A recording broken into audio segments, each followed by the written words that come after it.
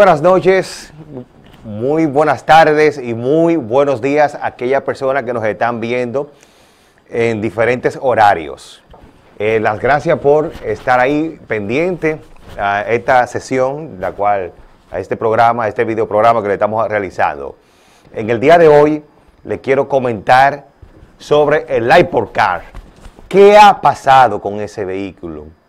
Que unos meses atrás eh, llenó las portadas, los medios de comunicación, todas las redes sociales, la llenó con el lanzamiento, con el comentario de el iPod Cars. Desde que se conversó, desde que salió noticia de que el iPod Cars era un proyecto que iba a compartir junto a Hyundai y Kia. Entonces, desde que se lanzó esa noticia en el mercado internacional, estalló la noticia como pólvora, corrió como pólvora, porque fue algo eh, sensacional dentro de la industria de, del automóvil a nivel global. Cuando se hizo ese lanzamiento sobre que Hyundai eh, formaría parte de la construcción del Cars, todos quedaron perplejos. Luego, posteriormente, decía que se inundaron toda la prensa. Luego llegó y resultó que entonces eh, Hyundai eh, hizo un descenso sobre la posible colaboración para desarrollar este vehículo de inteligencia artificial. Luego llegó el rumor del grupo Nissan para retomar el proyecto e invertir más de 3.6 millones de dólares en ese proyecto. ¿Y qué pasó? Rumores. También Nissan eh, desistió desarrollar el Apple Cars. ¿Qué ha pasado con este proyecto? ¿En qué está ese proyecto? Le voy a comentar algunas eh, pinceladas de lo que ha pasado con este proyecto que fue eh, lanzado junto a la noticia de Hyundai para crearlo hace apenas unos meses. Pero le comento que Steve Jobs eh, pensó en el iPhone, en el iPhone y en el iPod hace más de 10 años. Fíjense lo que yo le voy a comentar. Pero Steve Jobs, antes de lanzar el iPhone, el primer iPhone, estamos hablando del año 2010, ya eh, Steve Jobs ya había visualizado construir un vehículo.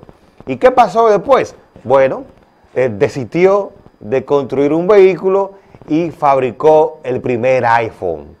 Como podrás eh, comprender, el iPhone cuando se lanzó en el mercado fue un boom, fue un éxito rotundo, fue una aceptación inconmensurable donde todas las personas se hicieron con el iPhone.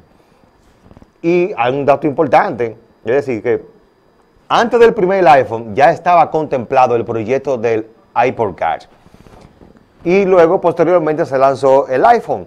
Bueno, nuevamente se retoma nuevamente el proyecto, el iPod Cash, y hoy lo tenemos en el tapete. Han pasado numerosas informaciones, hay muchos rumores sobre el futuro de este vehículo, del iPhone Cars, y tenemos la empresa de Hyundai, tenemos la empresa de Nissan, la corporación, que tenían eh, previsto acoger la marca para fabricar el iPhone Car. ¿Y por qué? Estas fábricas que son tradicionales, que representan lo tradicional, entonces eh, decidieron eh, desistieron porque, por la razón de que esto podía, alegan ellos, eh, estaban estableciendo un parámetros, estaban estableciendo parámetros de cómo ellos iban a fabricar el vehículo, mientras que los, el CEO de, de Car no estaba de acuerdo con las propuestas que estaban eh, proponiendo estos dos fabricantes de vehículos tradicionales. Y esto se quedó sin efecto el proyecto de llevarlo a cabo en la construcción. Lo que el Hypercars han hecho es buscar otras alternativas. De hecho, hasta BMW sonó para construir el Hypercar. Lo que se está es diciendo ahora es que los, el CEO de, del iPhone, del, del Hypercar, van a contratar a Fastcom, que es el principal ensamblador de iPhone y también ha presentado recientemente un chasis de vehículo electrónico y una plataforma de software para ayudar a los fabricantes de automóviles a llevar modelos al mercado más rápido. Con esta, con este fabricante que es, no vamos a decir que es archi famoso, sino una, es famoso dentro de de lo que es el mundo de la, de la inteligencia artificial, que son las personas de Fastcom, que son los que ensamblan, que son los que hacen todo el proceso de, fabricación del iPhone. Pues bueno, estas personas son los que van a llevar a cabo el proyecto del, del, del iPod Lo que significa que va a ser una empresa, una empresa que va a surgir como nueva en el sentido de que no tiene ninguna trayectoria como lo tiene Nissan, como lo tiene Hyundai y como lo tiene BMW, que sonaron para llevar a cabo este proyecto de, de, del iPhone Cars. Dentro de tantos eh, rumores que existen, hay muchos fabricantes tradicionales que se, que se han opuesto a este a este proyecto del iPod Car y yo digo que el drama que existe dentro de la industria del automóvil a nivel global, dentro del drama, porque es un drama que hay con la construcción de este iPod Car, que para mí va a representar una revolución en la industria del automóvil, el iPod Car, y será el mejor vehículo de todos los tiempos. Si esto se llega a, realizar, debido a que va a romper muchos parámetros, como es el parámetro de, digamos, de la conducción autónoma.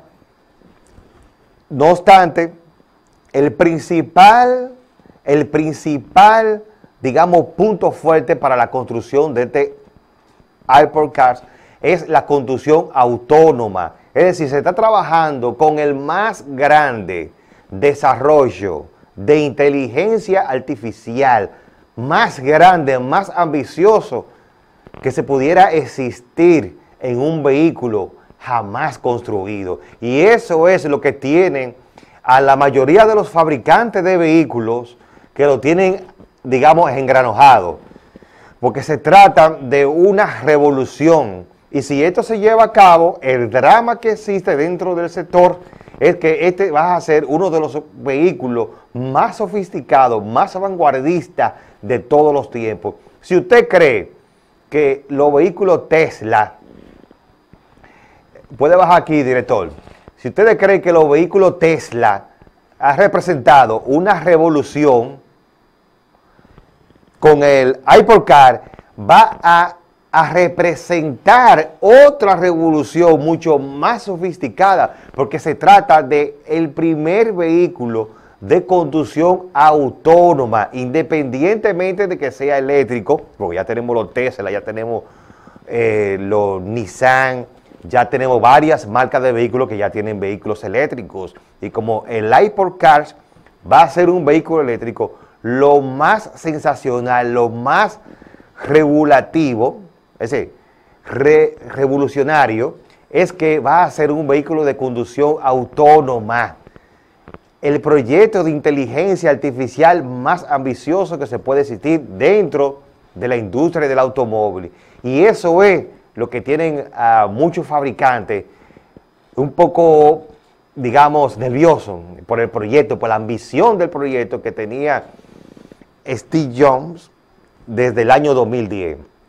Y fíjense algo, que yo digo que este va a ser uno de los proyectos más sensacionales. Es decir, que va a romper esquema. No hay diseños, no hay motorizaciones, no hay fichas técnicas, todos son rumores. Debería de ser uno de los secretos mejor guardados en la industria del automóvil. No obstante, no es así, porque todo, todo lo que se ha comentado ha salido todo a la luz pública en todos los medios de comunicación. Es decir, este es el secreto peor guardado, el, el por la envergadura que representa, por el desarrollo que representa. Hay muchas marcas tradicionales que se, que se han querido oponer, mandándole mensaje a los fabricantes para que esto no pueda suceder. Esperamos que este vehículo sea lanzado al mercado en el año 2024, 2025 y será un repulsivo comercial a nivel mundial. En cuanto amigos, gracias por ver esta información y los espero en otro programa y video programa. Hasta pronto.